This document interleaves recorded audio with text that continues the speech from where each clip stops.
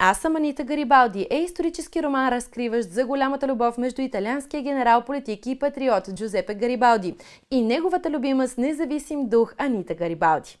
Тук ще проследите общия им път, който ги води от Южна Бразилия чак до жадовните брегове на Италия, където заедно повеждат хората в битка за независимостта и обединението й. И където самата Анита поема грижата за ранените, участва в сраженията наравно с мъжете и събира доброволци за армията на Гарибалди.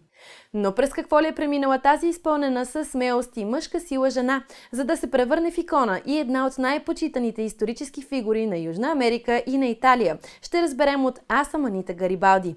Роман за една жена променила не само собствения си живот, но и живота на хората от цели два континента.